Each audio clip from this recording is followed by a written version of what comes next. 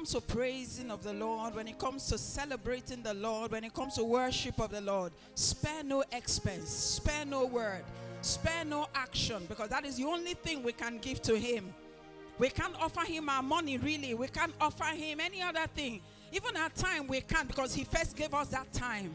There's nothing we can offer to Him. So when it comes to praise, when it comes to worship, when it comes to celebrating the Lord, spare no expense, spare no word. Spare no action. Whatever the Spirit of God puts your hand to, ignore whatever that person is doing. Let your heart pour out to Him even now. Thank you. Thank you, the Lord of Lords, the King of Kings. We have come to celebrate your victory. Your victory over the enemy, the victory over the powers of darkness. We have come to celebrate that you are the King of Kings and the Lord of Lords. We have come to celebrate that you are the Alpha, the Omega. We have come to pour our love, our life to you, oh God. Dead men can praise you, oh God. No one can worship you from the grave. And so we that are alive today, we that we are mentioned in the land of the living, we offer you the sacrifice of praise and worship and honor. We've come this morning with a bucket of praise. We've come this morning with vows of worship, oh God. We've come, oh God, with rivers of thanksgiving, oh Lord, our Father, our God. We remember your goodness to us in the land of the living. We remember your kindness, oh God. Come on, let your mouth be filled with praise. Come on, let the house be filled with worship. The presence of God, is attracted when there is praise, when there is worship. Eh, angels visit where there is praise. Jehovah inhabits the praise of his people. If you want to see God, then you praise him. If you want to see God, then worship him. Eh, do I have any praisers in the house? Do I have anyone that worships in the house? Do I have men that are from the tribe of David in the house today? Thank you, oh God. What an honor it is. The Bible said, Let everything that has breath praise the Lord. Let everything that has breath honor Jesus. For he deserves it all. And even much more. We bow today, oh God, in honor, in worship, in thanksgiving. Thank you, great King. Thank you, loving Father. As our praise, worship, and thanksgiving rise up to you today, oh God, as sweet incense, Father, we ask that you accept it and you rain down your word today. Rain down your word, my Father. Let it bring direction. Let it bring guidance. Let it bring inspiration. Let it bring chastisement, oh God. Let it put us where we're meant to be, Lord. In the name of Jesus. Spirit of the living God, we thank you today. I thank you particularly for your ministry that never fails. The ministry of opening up our understanding to understand the scripture. Thank you. Thank you this morning in the name of Jesus. Hallelujah. Amen. Amen. Thank you, Lord. We give you praise this morning. We'll be sharing very briefly and very quickly from God's word. We're trusting that God will bring that word to you that will change you and make you to become all that God has planned for you to be from day one. Hallelujah. And if you're a father listening out there, happy Father's Day. So today we're going to be looking at the things that shape the life of a man. Because there are many things, or there are many, what do I call them? There are many things that shape the outcome of a person's life. How a person turns out is shaped by several factors. Nobody suddenly becomes a certain way. Nobody automatically sleeps and wakes up a certain way. Certain things shape who you eventually become. There are many things that do that. I'll quickly tell you. One of them, for instance, is the environment that a person grows up in. The environment you are raised in, the environment you are exposed to, shapes the outcome of your life. Another thing that shapes the outcome of a person's life, for instance, um, are prophetic words that are said over a man or a woman. Those prophetic words that are spoken over you, it goes a large way in shaping how you turn out in life. And the patriarchs, those who walk with God, they completely understand this. And which is why one of the things that the patriarchs from Abraham, Isaac, Jacob, if you go to the New Testament, Paul, all those people, they understood the power of the words, prophetic words said over a man. And so when the prophets, when the fathers were handing over, when they were about to die, they knew that the important thing to hand over to their children was not the land or the cattle or all those things. They knew there was something they needed to hand over that was beyond material possession. So you see, when Abraham was about to die, he spoke certain words to Isaac. The same from Isaac to Jacob. Maybe we should even look at a few examples. Let's take a look at Genesis chapter 49, verse 1, just to quickly look at that aspect of the things that shape the life of a man. The Bible says in Genesis chapter 49, verse 1, he says, And Jacob called his sons. He learned this by walking with God. He also learned it by seeing what happened in his life by virtue of what Isaac spoke to him. And he also saw that this was what happened in the life from what Abraham did to Isaac and Isaac to Jacob. And the Bible said, And Jacob called his sons and said, Gather together that I may tell you what shall befall you in the last days. What he was saying is, I'm about to release certain words, and I know that when I speak these words over your life, this is what your life is going to become. These words I'm going to speak, it will shape the outcome of your life that portion of the land called Israel, where the world has marked out to be Israel, that portion of the land was shaped because that was what Abraham saw and that was what he spoke into existence. That portion of the land. Let's take a look at another person quickly. I just want to fly through the Deuteronomy 33, verse 1.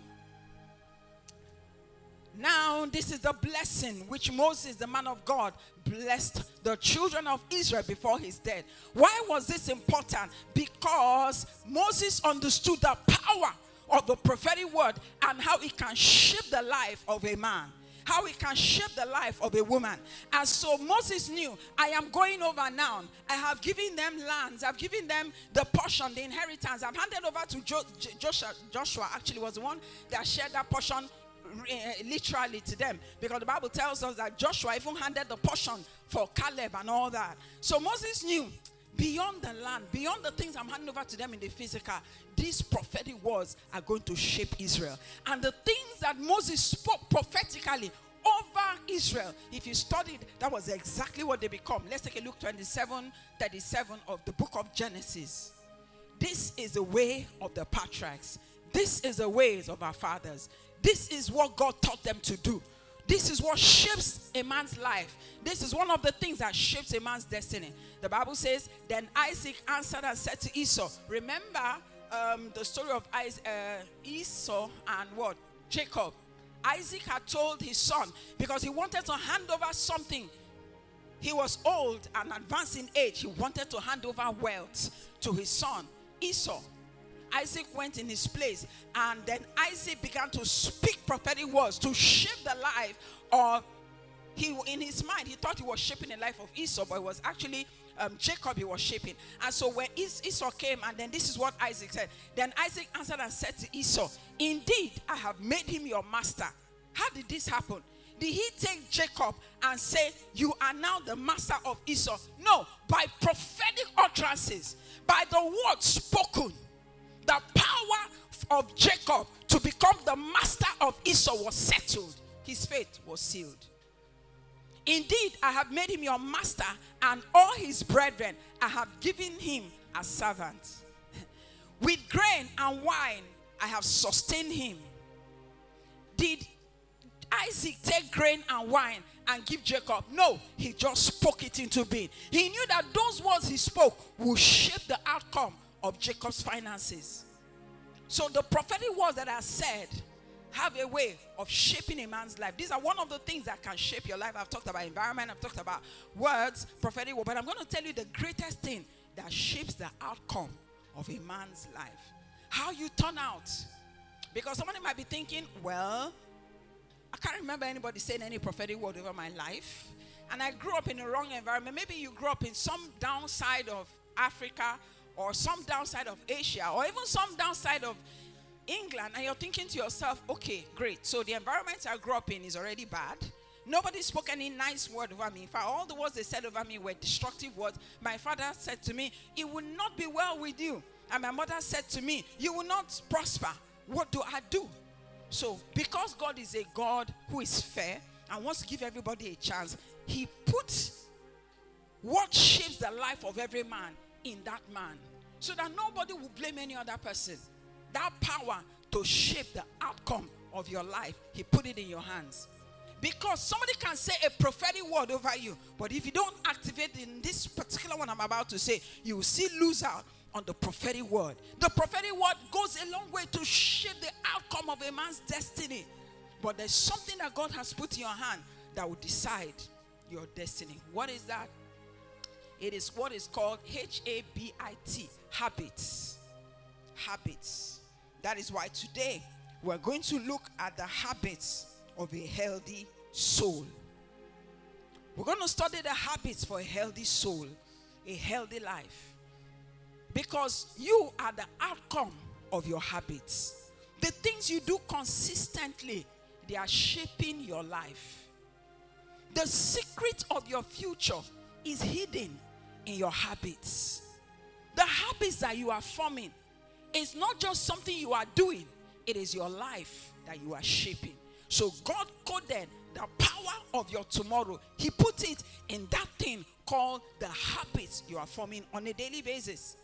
Jesus made it a point of duty to form certain habits.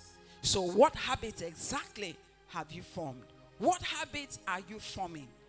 If you're not conscious of the habits that you are forming, the chances are you are growing carelessly and wildly, and the chances are you will not turn out so well spiritually because there are habits you must form compulsorily if you are going to have a healthy life. Another way to put it is the enemies of a healthy spiritual life. What these habits are will amaze you, some of them. Some of us, those particular habits that will build us are the ones we have despised and neglected. And that is why our spiritual growth has been stunted. But everybody who has formulated this habit, as we see in the scripture, and the life of anyone who has made sense in the kingdom of God, you see those things strong. So, what are those habits of a healthy life? What habits are you actually forming? Which ones are you developing? Do you know that some people are developing the habit of prayerlessness? It's a habit they form. They don't realize they're forming a habit. They form the habit of a prayerless life. And just an, as an aside, four types of prayerlessness. Some of you have prayerlessness, you don't realize that's what you have. So let me tell you the four types of prayerlessness. Number one, people who do not pray at all. That is only one type of prayerlessness. And I think that is one we recognize. And that is one we call this person does not have a prayer life. But you are wrong because there are three other types that people practice. And that is still prayerlessness. The second type of prayerlessness is people who pray emergency prayers. That is, they pray only when there is a problem. When there's an exam to write. When they're about to travel. When they're about to make a decision Maybe as a minister, when you're about to pray, that is the only time you know you will start praying and you start fasting. You don't have a prayer life. The third kind of prayerlessness is what is called public prayer only. PPO. The only prayer they pray is when they come publicly. They only pray corporately. They don't have a personal prayer life. PPO, public prayer only. That is all. Jesus said this type of people, whenever they want to pray, is when they come in the public. Some people can burn one hour, two hours, as long as it's corporate prayer. But on their own, they can't have that same one hour with God. That's a kind of prayerlessness. The fourth kind of prayerlessness. These are people who pray daily, but they make no connection. You still don't have a prayer life. Because prayer is about making contact with God. So if you go to pray and you don't make contact, do not deceive yourself. You have knelt down, you have said some words, but you did not pray because prayer is about making contact. I know this because the Bible says times of refreshing come from the presence of the Lord. How you know you have contacted God is there's a refreshing that comes to your spirit, there's a refreshing that comes to your soul. So when that refreshing is missing after your prayer, you didn't make contact. Do you know when you make contact with God? Difficult to keep your eyes dry you begin to cry out to God. You know, your eyes are running with tears and all of that. And you know, you know that you know that you know you contacted God. When you pray, you don't contact God. You have not prayed, even though you have said certain words. And people go through like that. And because they are doing this on a daily basis, they assume they have a prayer life. Meanwhile, they don't have a prayer life. As far as heaven is concerned, you don't have a prayer life. So people don't get used to that. You are forming a habit of prayerlessness. So when you don't deliberately make a habit of prayer, What you are doing is you have formed a habit of prayerlessness. And I'll tell you from research, it is easier to build a habit than to break one. The energy you need to break a habit is higher, much more, three times higher than the energy you need to build a habit. It is much easier to build than to destroy when it concerns habits. So, what habits exactly are you forming? They are habits of a healthy soul. They are also enemies of spiritual health. So maybe we should do a little bit of work on how Jesus lived his life. Let's look at Luke chapter 4, verse 13. If you're not aware of the, if I tell you to write three habits that you have formed for your spiritual health, you know what is a habit? A habit is something you do constantly that has become your lifestyle, that has become part of you. If I ask you now, write three habits you have developed since you gave your life to Christ, most people find it difficult to write even one that they have deliberately built. But you see what the Bible says. Um, I'm reading from Luke chapter 4, verse 16, actually. The Bible says, And he came to Nazareth where he had been brought up, as was his custom, as and as his custom was. What does custom mean? Let's look at other verbs of custom. We can look at another translation just to help you out. Okay, he went to Nazareth where he had been brought up, and on the Sabbath day, he went into the synagogue as was his custom. Some will tell you as was his habit. Some will tell you as was his manner. So Jesus deliberately formed certain habits as was his custom. The other translation we just saw said, as he does usually. He went as usual. He made it a habit. He was consciously building a habit of always going to the synagogue.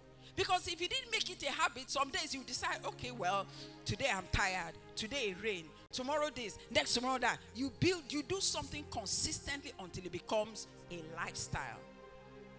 Let's take a look. Maybe someone will say, oh, that's Jesus. Let's take a look at Paul, Acts 17, verse 2.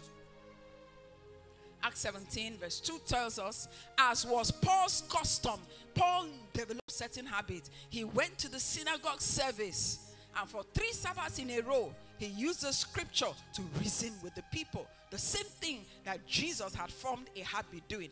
Jesus had a habit of not just going to the synagogue, but of sharing the word of God with people. Paul formed the habit. I can show you different people who formed habits of going to the house of God, sharing different habits that they formed. I already told you the habit that the ancestors did. They made it a habit to bless their children. They made it a habit to transfer patriarchal blessing. They made it a habit to speak prophetic words over people. In Africa, we have the opposite. You know, if your mother has not told you that may God punish you, that mother has not started raising you. True or false? I think it's changing a little bit now. But you know, if it's evil, they will say, True or false? They would have said it two times. I don't even know what kitikpa is. You know, but I've heard it so many times. I can say the words, even if I don't know the English or but they'll tell you kitikpa babogeba. And you know, these are words that have been spoken over children. This lazy boy, these are the, the, the parent position has a power to build the life of somebody else. Yeah? So, what habits? So let's take a look at habits for a healthy soul. The first habit that you need to build if you're going to have a healthy soul, a healthy spiritual life, you're going to build a habit of dissatisfaction. And let me put it in another way. Remember, I told you the flips, the flip way of discussing this is uh, enemies, seven enemies of spiritual health. So I'll tell you that satisfaction is the enemy of spiritual health. I'm going to explain. You have to form the habit of dissatisfaction. Did, I did a study on the men who walk with God. These are men who were never satisfied, no matter the spiritual state.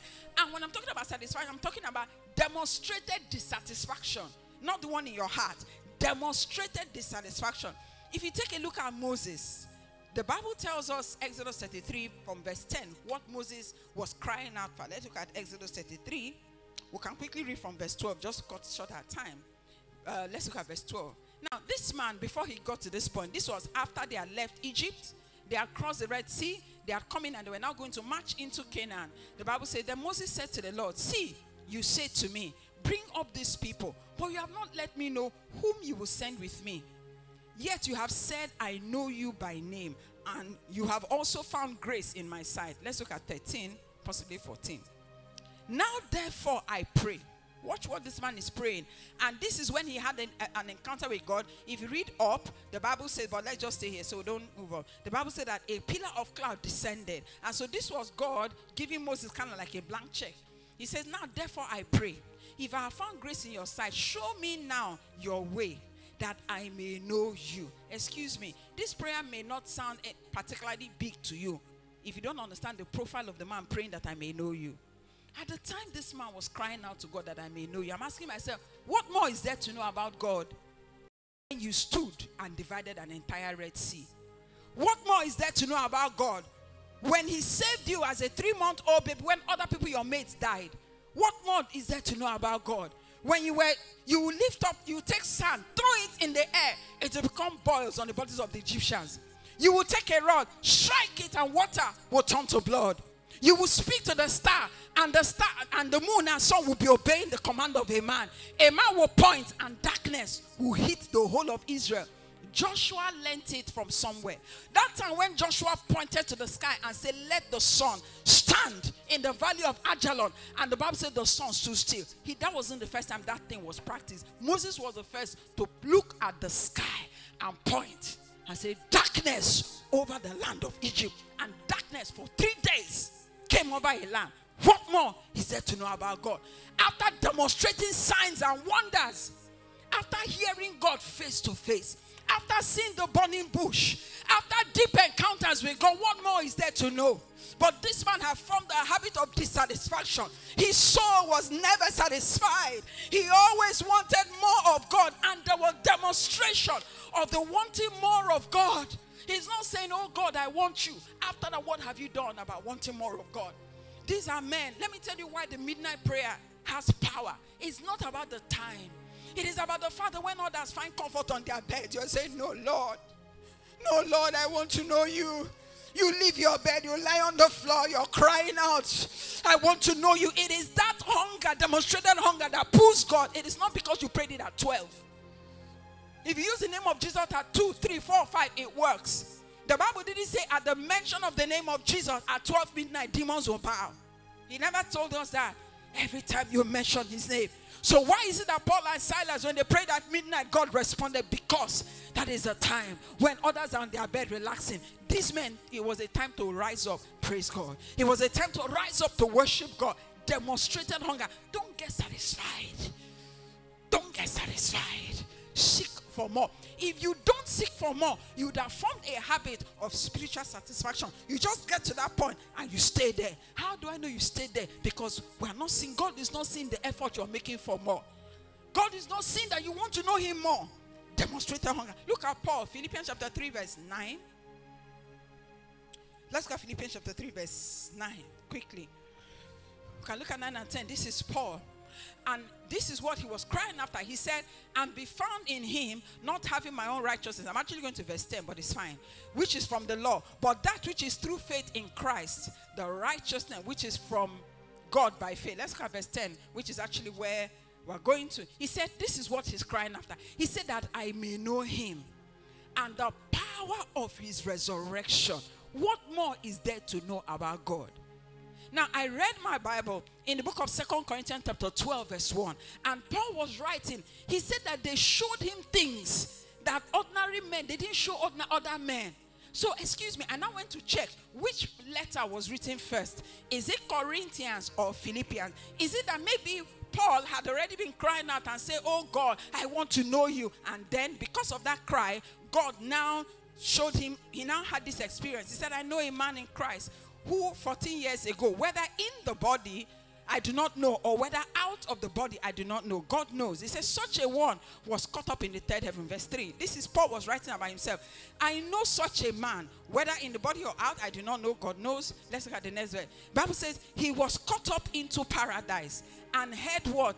Inexpressible words, which is not lawful for a man to utter. So they showed him these deep mysteries about God.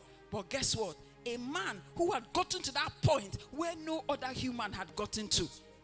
He was still saying that I may know you. I marveled at Philippians chapter 3 when he said, I want to win Christ. What more are you winning of Christ?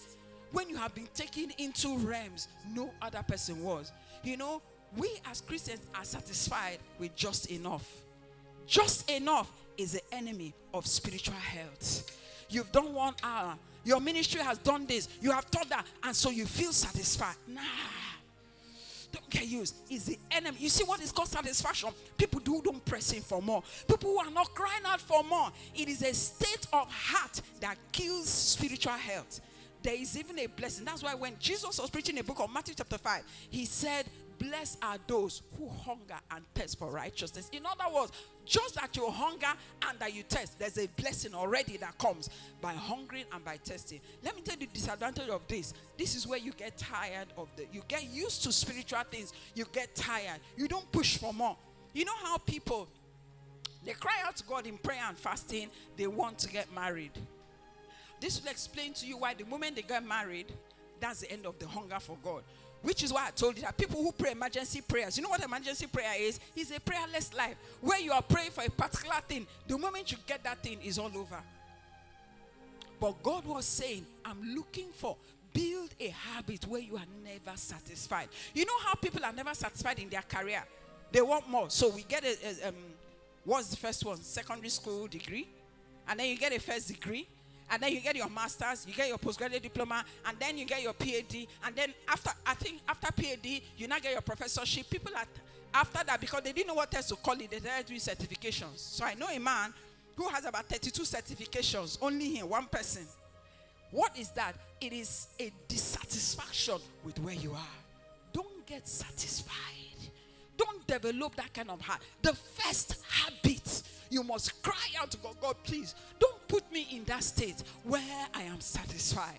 Don't put me in that state where I have enough of you. Help me to have demonstrated hunger. You know what is demonstrated hunger? It is a hunger that goes beyond the lips. It is a hunger that is shown in the things that you do.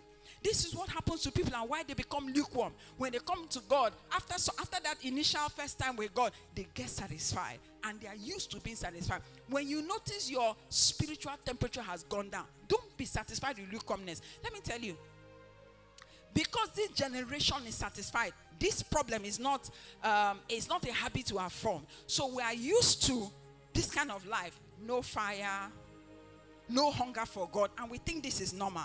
So when you see people that are on fire for God, you think they are abnormal. No, you are the one that is abnormal. Do you know the people we call fanatics are the normal people? You are the one that is ha, has a very big problem. But guess what? Because we have formed a habit of being satisfied with the status quo and we are okay with it. Well, I give my life to Christ. I speak in tongues. I've joined the choir. I'm in the department. Maybe they've made me a pastor. I have 2,000 people in my church, and that's fine we are satisfied with that level. If you have seen the face of God once, ask for twice. If you have prayed for 10 hours, ask for 20. Whatever it is, say, God, this is not enough. Be like the Moses people. Never be satisfied with enough. No matter the amount of God you have, ask for more. No matter the depth of God, ask for more. Let that be a habit of your soul where you have an insatiable hunger an insatiable desire. You're going to cry out to God and say, Oh God, which is that prayer that David was praying for his son? He said, Give this man a loyal heart forever. What does it mean forever? A habit, a habit of always looking for more of God. Psalm 27, verse 5 is actually a prayer of habit, it's a prayer of custom. Let's take a look at it. Psalm 27, verse 5 quickly, and then I'll go to the next habit, which I'll stay a little bit more on.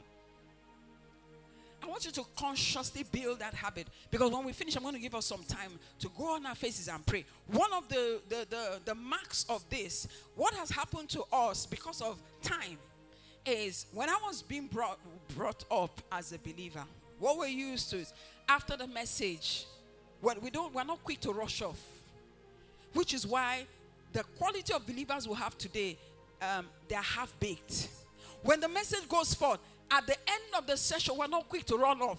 People find a corner, and you know what? They go there and begin to cry out to God and pray in those things, and that is where encounter begins. God has, is speaking now, but you know what? You need to go and pray in those things. Because we're going to give a time for you to find a corner. Go to one corner. Thank God the hall here is rock. Wherever you are watching from, start planning now where you're going to go. While the worship keeps playing at the background, find a corner. This is how men are made. This is how men are built. Because sometimes in five minutes, the Spirit of God has not done the job. You need to give God time. If you are going to be a person that is going to turn out right, you need to give God time. You have to have a habit of giving God time. Don't be satisfied with waking up every day and not giving God time. Let me tell you, we worry about time, tithe of money. What about the tithe of your time? Out of 24 hours, the minimum is 2 hours, 40 minutes at the minimum. I don't see anyone worried about tithe, time, tithe of time. You're going to give God time. You're going to give God time. You're going to give your spiritual development time. Get used to time spent with God. It is a habit. Time spent with God. Make it an everlasting habit. Psalm 27, verse 5. This is a prayer. It was a prayer of habit. He said, For in the time of trouble, let's look at four first. This verse. Uh-huh. One thing have I desired that I will seek. That is what I'm going to seek. What does it mean to desire and seek? Desire is a state of the heart. Seeking is an action. Seeking is the demonstration of what you have desired. That is why I say demonstrated hunger. Not hunger in the mouth, demonstration.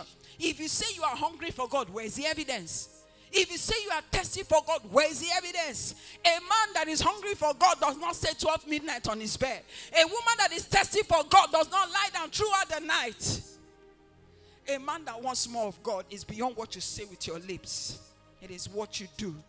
He said, That will I seek, that I may dwell in the house of the Lord all the days of my life. That sentence speaks of habit. This is what I'm crying after. I want to have a habit where I'm not satisfied. Let this be my lifestyle where I am always crying out for God. Why I am never satisfied. Lord, if you take anything away, let, the, let don't take this one. Let this be the number one habit. Let it be said of me that I am that one that has formed the habit as, her, as was her custom, always seeking more of God, as was her custom, always seeking to dwell in the house of the Lord, to dwell in the presence of the Lord. I saw studying Caleb, but we don't have to go there. The Bible says God was talking about Joshua and Caleb, and he said, because Caleb has another spirit, but that didn't put full stop. They said, and he has served me wholeheartedly. Because I was asking God, what made these two men have a different spirit? I saw it in the Bible. He said, because he had a different spirit and he served me wholeheartedly. I saw that wholehearted service to God is what inspires faith in God in the midst of the impossible. That, that's why, in the presence of God, nothing looks impossible. You are so filled with faith, you are so filled with courage. When you come out again and you see the giants, you're like, eh, well. Because there's something about the presence of God that makes giants look like ants. So when you come out of presence of God and that giant still looks like a giant, it means you have not given God enough time. It means you are not giving God enough time to write the code of fear in your heart. But let's go. Okay, let's read it. But my servant Caleb has a different attitude than others. Oh, dear Lord. Lift your hand and say, God, give me a heart that is loyal, a wholehearted heart. This is what separated Caleb. What made him see a giant and say, We are able to go in and possess the land? What made this man? He said, But my servant Caleb, he has a different attitude. He has a different heart. He has a different lifestyle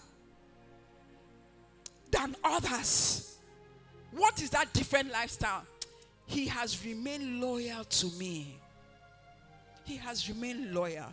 May you be like Caleb. May you be like Joshua. He has remained loyal to me. Because of that, so I will bring him into the land he explored. This is what shaped Caleb and Joshua a heart loyal to God. It shaped the outcome of his life. Go back to that scripture where we are just reading about Caleb. He said, This is what I know. I don't, for whatever reason, we're focused on the other part, a heart. We just read it nine numbers. You just read it, the last scripture that we read. You know, we focus on the different heart. But the Bible says because he had a different heart, he had a different attitude and all of that. The Bible says, okay, but my servant Caleb, I think this NKJV version, he said, because he has a different spirit in him and has followed me fully, I will bring him into the land where he and his descendants shall inherit. If you look, look at King James, then he has followed me wholeheartedly. And that was what shaped the outcome Caleb's life. You know what it means to follow God wholeheartedly, not half, not satisfied.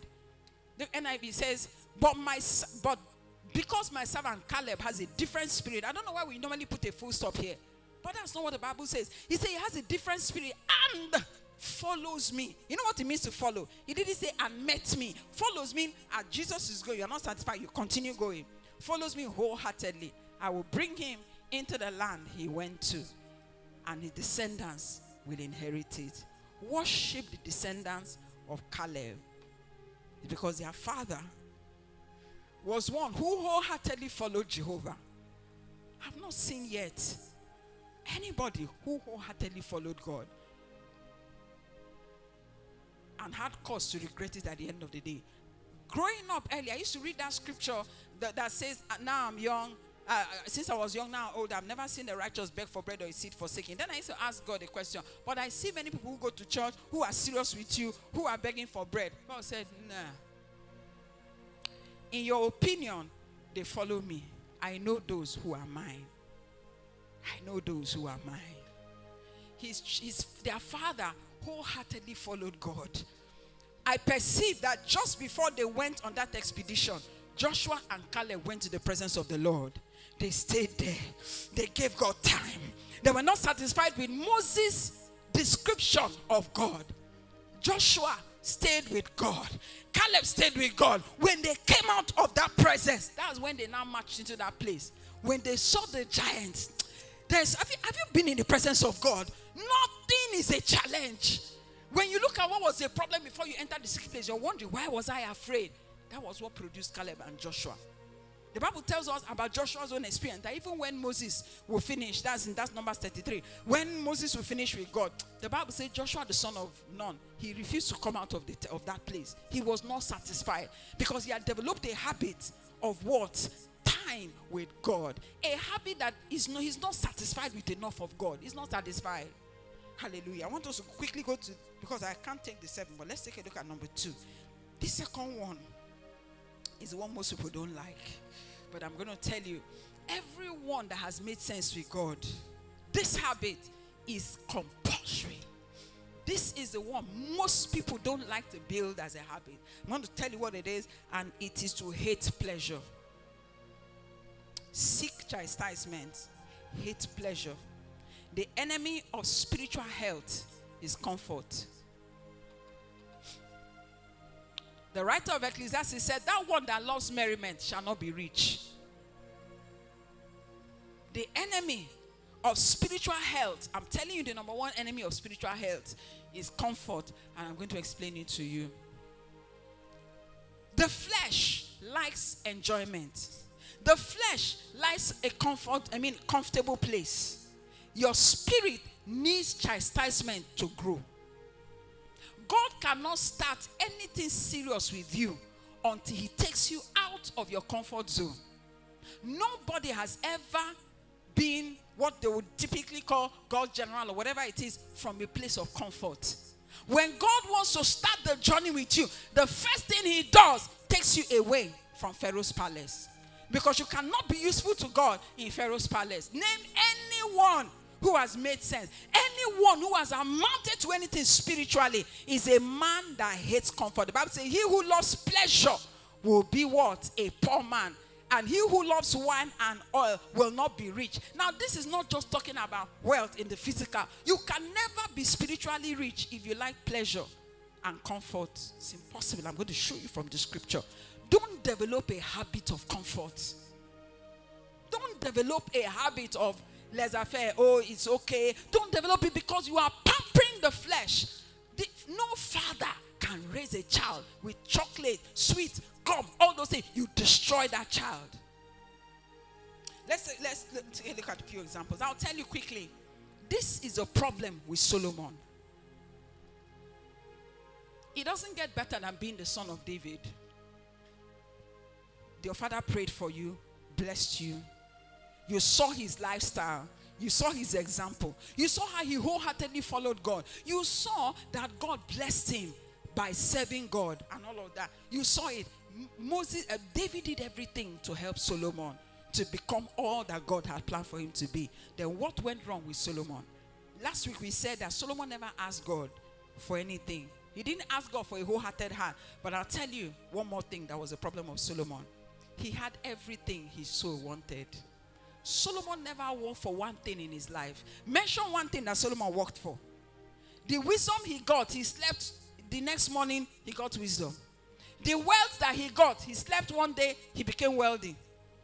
Being the son that took over from David, he didn't work for that position. It was bestowed on him. He never worked for, he didn't labor for anything. All the women he married, they came. A whole queen of Sheba left her house in Ethiopia, traveled all the way. Solomon never worked a day in his life for anything that he got. That was his destruction. Look at how the, God raised David. That's how to raise God's general. he was in the wilderness, number one. They pulled him from there to start with. Rough man. They now brought him and anointed him. But God understood if I take David from this place now, after being anointed the first time, take him and put him on the throne of, the, of Israel, he will fail God, hands down. There's no gainsaying. He will fail God. This is the problem with Adam. He just slept one day, woke up in the morning, and he was the owner of an entire estate, even wife. Some of you are fasting for two million years for wife. God has not answered. But you see, Adam slept casually, woke up the next day, woman was there. Grown woman. He didn't struggle, he didn't do anything, just like that. And that was why he, he, he was destroyed. Look at how God raised Jesus. Eh? The Bible says, we read it in, in uh, Luke 2. He said he went to Nazareth where he had been brought up. What does brought up mean? Where he was raised, where he was trained. He who don't get satisfied with pleasure. Anybody training you with pleasure is destroying you, but you won't know. I was raised with iron fist, not from my father's house. But the pastor that raised me, he didn't allow us to have all this casual. You know, I see the training, casual, whatever. No. We turned out this way because of the strong training. I'm going to show you from the scripture. Look at. Let's take a look at some of those guys that. Um, do you know that David was actually crying for chastisement? Okay, let's even take a do some work in Jeremiah. Jeremiah chapter 10, verse 23 to 24. Then let's do some work with Paul. That will be Second Corinthians. So we're going to read 23 and 24 maybe eh, eh, one or two translations so that we'll get a clear picture of what Jeremiah was saying. No wonder Jeremiah turned out this way. He said, Oh Lord, I know the I know the way of man is not in himself. Now, pause. I need to make a statement here. There are people that God is training. Hmm? They don't understand that it's God's training process.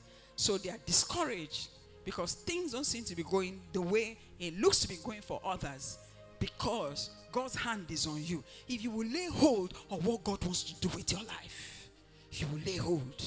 How does God raise an Abraham? He's not in the king's palace. How does God raise a Moses? It's not in the king's palace. How does God raise a David? It is not in the king's palace. Everyone, how does God raise a Moses? It's not in the king's palace. For Moses' life to count, wilderness. For Abraham's life to count, he had to go through those times. Because the enemy of spiritual health, comfort. There are those who love their bed. If you read Proverbs and Ecclesiastes, those who love their bed, they sleep, they roll from one side of the bed to the other. You are destroying what God wants to do with your life. You see, this your knee, they must be raised in the place of prayer. God doesn't raise anybody in the palace. Nation one person raised in the palace. Everybody that started in the palace, look at Moses. He was in the palace. In my thinking, if God was going to use Moses, what better place than the palace? You're already there. Just wait for Pharaoh to die, take over, and sign a decree. Okay, all Israel, you are now free to go. Isn't that easy and better? Why did God have to take them, take him to number one? He went and spent 40 years. If you look at Moses, you think that God really hates him. You say, wow, after you have been faithful to God, look at where your life is. If you look at Joseph, for God to fulfill what God had planned, Joseph. The Bible says God was the one that sent him to Egypt. If you look at the book of Psalm, don't go away from here. Maybe after this, we look at um, the book of Psalm. I think it's 105. He said he bound him with fetters of iron. Who bound him? God. Joseph would not have amounted to anything staying under Jacob because he was the last born. He was spoiled. When others were in the field harvesting whatever they were harvesting, Jacob was at home, relaxed. God said, Nah, it's time to shake this up. Joseph, I have more for you than sitting under Jacob. Potiphar's house, prison. This thing all await you, but this is your journey to greatness. Form a habit that loves chastisement. You sit, don't turn there. Psalm 6, verse 1. I'm trying to be quick. Psalm 6, verse 1. David was actually asking God. He said, Oh God, chastise me. But let's see Jeremiah first. Then we'll look at Psalm 6 1. He said, Oh Lord, I know the way of man is not in himself. It is not in man who walks to direct his own steps. Let's explain that. You might desire to live a life of holiness. But the Bible says, it is not in man to direct his own way. How many times have we wanted to live holy lives and we're not able to? Correct? How many times have we wanted to do this and this and this and that? We have desired it, oh, but we're not able to. Has it happened to you before? May I see your hand? Okay, great. So this is what the guy was saying. I have desired it, but I have realized it is not in man to direct his own steps. Then he now knew the solution. He said, Oh Lord, correct me. Because he knew when God brings the chastisement, when he brings it tough, there's something about being tough. There's something about bruising the flesh that raises a man that God can use. That raises a man that will step into the place of destiny. This generation we are used to comfort, quick, five minute service, two minute service. God does not come in two minutes. You can't force God to give you an encounter in two minutes. He doesn't raise men. Raising men, look at the Bible. 21 years, he's still working on a man. He said, but with justice, not in your anger, lest you bring me to nothing. He was asking God, correct me. Look at uh, Psalm 6, verse 1.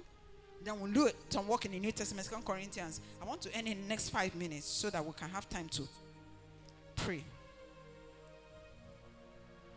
Oh Lord, don't rebuke me in your anger or discipline me in your rage. Let's look at it in another translation. Have compassion on me for I'm weak, but I want to look at another translation. Oh Lord, which one is this? Oh Lord, do not rebuke me your anger or display me your rod. What he's saying is, I'm accepting the rebuke, but please don't do it in hot displeasure. Rebuke me. I'm, he didn't say, God, don't rebuke me at all. He's saying, rebuke me, but not in your anger. He said, Oh Lord, rebuke me, but not in your anger. Rebuke me, but not in your anger.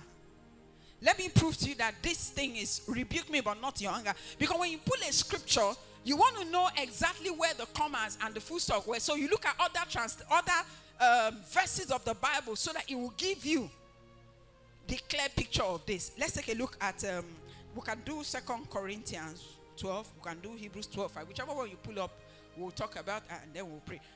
So whichever way you come, you can. Okay, let's look at Second Corinthians 12 7. Let's look at Second Corinthians 12 7. Okay, great. 7. This is Paul. Even though I have received such wonderful revelations from God, so to keep me from becoming proud, pause. God desired for Paul to make it. God wanted Paul to be a general.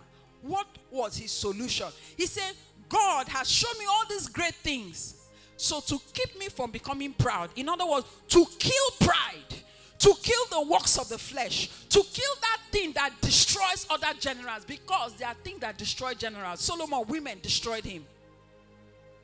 Even his father David, he almost allowed women to destroy him. For to kill that thing that destroys generals, he said, I was given a thorn in my flesh, a messenger from Satan to torment me and keep me from what? Becoming proud.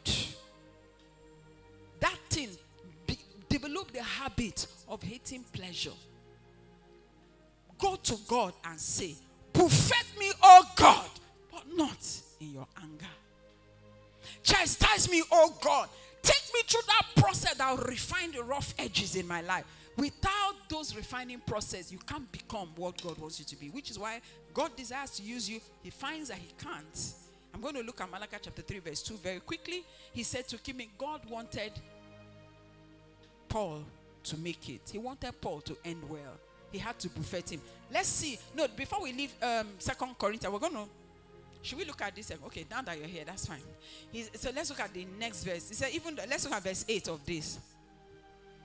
Three different times I begged the Lord to take it away. You know, when you're the one crying to God, asking God, take this away, you think that God is wicked by not answering. But what God was doing is helping him to destroy that thing that destroys generals, buffeting the flesh.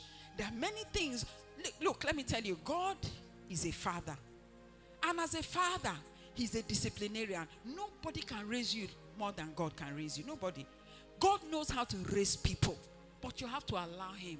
He said three different times, I beg the Lord to take it away. This is what God said. He said, You, Paul, the way I'm seeing you, see your eyes. I'm seeing that your eyes are shining red. The way I'm seeing you. He said, Each time he said to me, after praying and fasting for 40 days, they're going to say, Oh, God, Paul, hmm? you see you. My grace is all you need. My power works best in your weakness. So he says, so after some time, Paul understood it. He said, so now I am glad. He now began to cooperate with God. He said, I am glad to boast about my weakness so that the power of Christ can walk through me. When we say that power of Christ, I know what you're thinking. Maybe money or one lovely thing. Nah. The power of Christ is the power of the cross. The cross needs to do a work in your life. Let's quickly look at Hebrews and then we'll look at Malachi chapter 3 and then we'll go and pray. Hebrews chapter 12, verse 5. And then we'll look at the scripture in Malachi God's training process because I can't go through the other habits. Number one habit, can we take it? Okay, so fine, let's do this. Have you forgotten the encouraging words God spoke to you as His children? He said, My child, don't make light of the Lord's discipline. What does that mean? God brings discipline on His children. Don't give up when He corrects you because some people have a tendency to give up. You have to understand that you're in the hand of a loving Father. You have to understand that before you have that need, He knows. Why is He allowing you to go through it when you know you have done everything you ought to do? Because beyond meeting your need, God wants to use you. Beyond that child you are looking for, God wants to use you. Beyond that job you are looking for, God wants to use you. He wants to send you in that industry as a voice. He wants, the Bible says, with the comfort which you are comforted, we're able to comfort others. Beyond God giving Abraham a child, he wanted to do more than give Abraham a child. He look at how do you think God will raise an Abraham? The one that will be the father of nations. You don't raise him anyhow. Father of many nations. Because one man followed God wholeheartedly. Three religions get their bearing from one man. Christianity, for Abraham is their father. Islam, Abraham is their father. Jews, Abraham is their father. You, Nothing. Why? It requires wholeheartedness. Abraham paid for it 25 years crying out to God for a child. No matter what you think, God is not mean. He's only bringing you to a place where you can be used of Him. Let's look at the next verse. Then we'll look at Malachi 3 and we'll have to end it here. For the Lord disciplines those He loves. And hey, Lord, can you say this after me? Those in the life and in the physical audience. Like, Is this still God or maybe this is another person? He, can we say it together? One, two, three, go.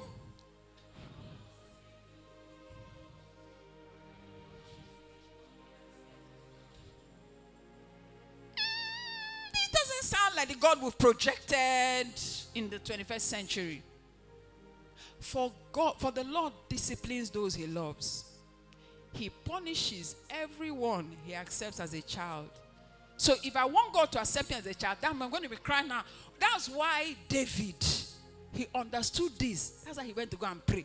He said, God, I don't really like the punishment. So God, as you are as you are punishing me and chastising me, shall do it in love and kindness. He didn't need to tell God that. God by nature will do it out of love and kindness. Listen to me, eh? God controls the heat that's operating in your life. He knows when to increase the heat, he knows when to turn it down. He's your father. He knows when to flog you, He knows when to withhold the cane. He's your father. This is his day. Yes, we'll say Father's Day in the physical, but this is a Father's Day. I've never seen a good father without discipline. If you allow people to have everything they want, you destroy them. Can we take a look at Malachi chapter 3? The Bible says God loves every God disciplines everyone he loves and punishes. So you can imagine the kind of prayer when you hear somebody pray, "Oh God, punish me." Or imagine if I begin to prophesy, Father, in the name of Jesus, I ask, oh God, today that you punish everyone that is seated in congregation and those watching me online. If there were 300 people watching, you just see left, left, left, left. True or false? Can you imagine if I go for a crusade? How many of you want to be God's children? 1,000 people will come out. And then the next sentence, Father, in the name of Jesus, from today, begin to punish them. Ah, this is not the Jesus they told us about. And this is why God's generals are no more being raised. But who shall abide and endure it when he comes? Who will be able to stand and face him when he appears? For he will be like a blazing fire that refines metal. What kind of fire? Blazing fire is refining metal. You are metal, but you need refining. He said, or like a strong soap that bleaches clothes. Your clothes need to be bleached, not just washed. You know, there's a washing of the blood of Jesus, but apart from that, there's the bleaching, the one that the cross takes care of. Look at verse 3 of the, the next verse uh, he will sit you know what it means to sit he's not he's not touch and go he will sit like a refiner of silver you are refining silver burning away the dross. Some of us have a lot of dross in our lives. Pride does not go by saying god have mercy on me i committed pride. No. See how they remove pride in paul. Dross dross needs to go. It takes fire to burn it away. He said, burning away the dross, he will purify the Levites. They are Levites, but they need purification. Refining them like gold and silver. God is going to sit on you. If God wants to use you, sometimes he sits on you for 40 years doing this process. 30 years doing this process. If you're a lover of pleasure, you will not yield to this process of God. So that they may once again offer acceptable sacrifice to the Lord. Let me tell you, Jesus said, as I round this up, because I'm out of time, I want us to pray. Jesus said, the road is narrow, it's difficult. How can someone who is a lover of pleasure go through that road and come out at the end? You have to be prepared for that road. And that road requires some roughening up. When God denies you certain pleasure, it is for your own good. When God allows you to go through certain processes that are not pleasant, it is for your own good. The Bible says that everyone that God loves, He corrects. Everyone. Everyone He accepts as a child. What does He do? The Bible says He brings punishment on those ones. That is why Solomon was, uh, David was praying, Oh God, oh God, chastise me but do it in love. Oh God, I'm begging you. I know your own chastisement. Do it in love. Jeremiah said, "What crying out for the same punishment." This is the downfall of Solomon. He saw the father like that, but he was enjoying the benefits of a man who has served God. Look at how God raised David.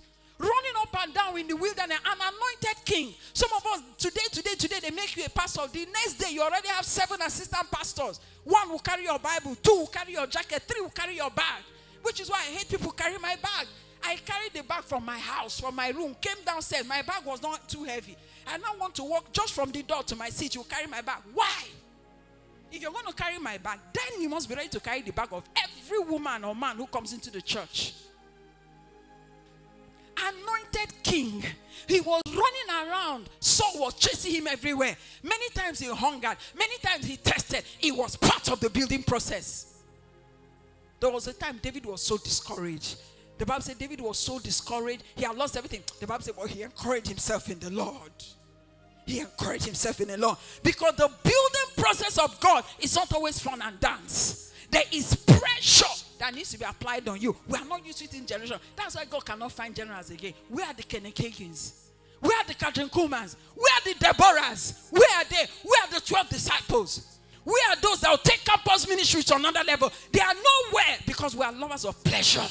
Pleasure is the enemy of spiritual health. You know, our pastors every Sunday after church has ended by 11, they sit down.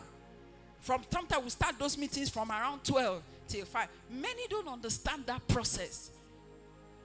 It's not easy, but that is what it takes to stretch you. Until you are stretched, you cannot be used of God. That hammer must come.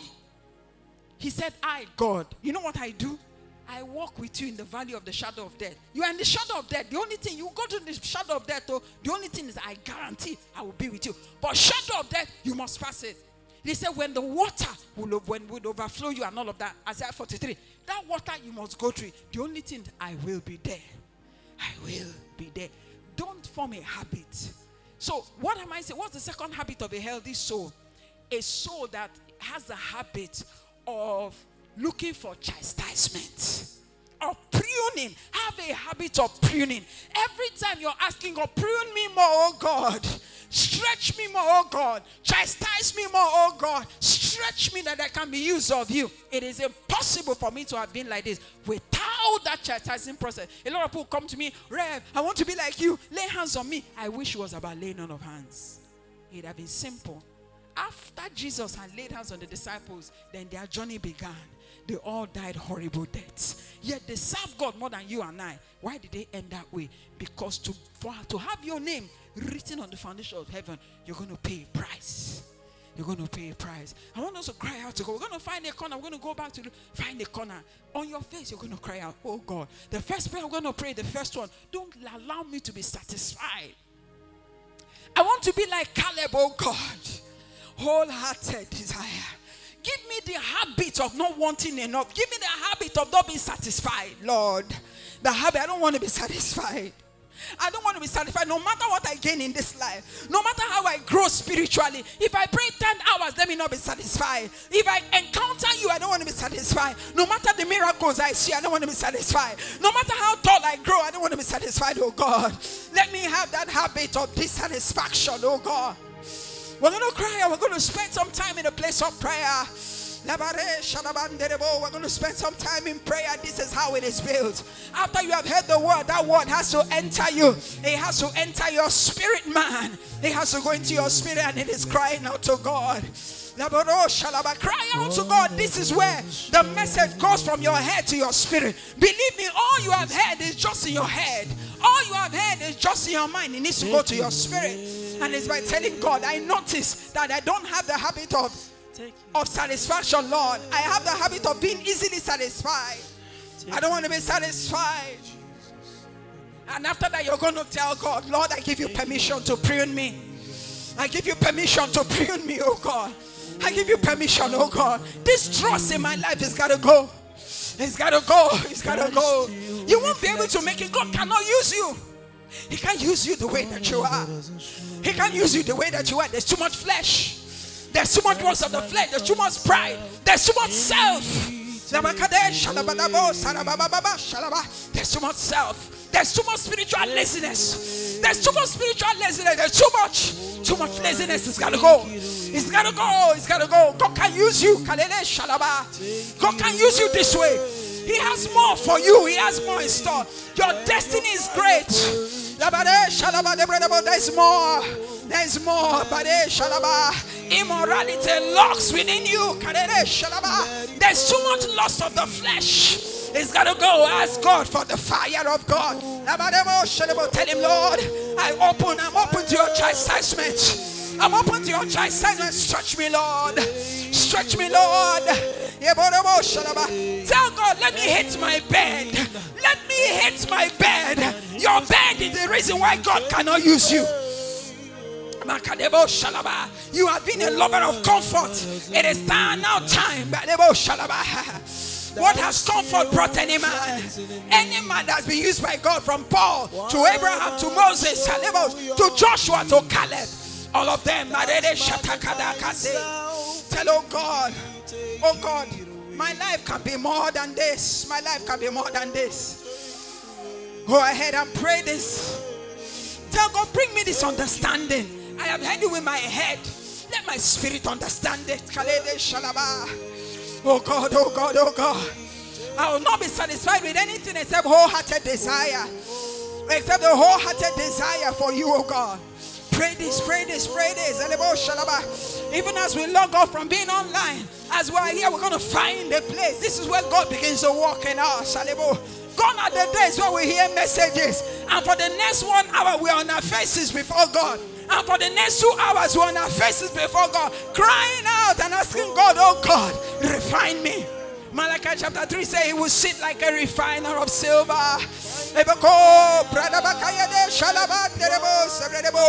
Oh God of Israel, you are my father. Take away the dross. Take me through the wilderness that will perfect me. He took Moses 40 years to become a man that God could use. It took Paul years of chastisement for him to be the person that God could use. There's too much trust in your life. There's too much. Tell him. I don't want to be lazy, oh God. I don't want to be lazy, oh God. I don't want to be lazy, oh God. Correct me, oh God. Tell him to bring correction. But not in his hot displeasure. Tell him. The Bible says, everyone he loves, he disciplines. Discipline is coming for the body of Christ. Discipline is coming for the body of Christ. Tell God, help me to recognize your discipline when it comes. Help me to recognize your discipline when it comes, oh God. He says he punishes everyone he accepts as a child. Everyone he accepts, tell him, oh God. In answer to this prayer, God will bring some people in your life that may not be pleasant. Him, oh, Shalaba. Oh, oh, some the Holy Ghost will do by himself. Others, He will send your leader to do it. They may not be nice, they may not be kind, but it is for you to become that man, that woman that God can use. No wonder Paul said, I bear in my body the marks of Christ. Where are the marks of your training? Where are the marks of your preparation? Where are they? no one can casually become a general. No one can casually become a vessel. No one can become a vessel used by God by sleeping every night. This is what destroyed Solomon. He had everything he wanted. Never worked for anything in his life. He was a lover of pleasure. The Bible says was in Ecclesiastes chapter 2, verse 2. Everything he's had desired, he had. Every single thing that Moses that Solomon wanted, he had it. No wonder. No wonder he turned out that way. He was a sports child of God. The Bible says at the end of the day, God was not happy with him. Tell the Lord, take this away from me, oh God. Take this away from me. This is the part of the equation that is missing in 21st century. Make sure you're crying out to God. Say, God, look at my life. I present my life. Look at me, oh God. If you leave me this way, I'm done for. If you leave me this way, I am done for. Let your chest flow before God. Let him see that heart that is crying out for more.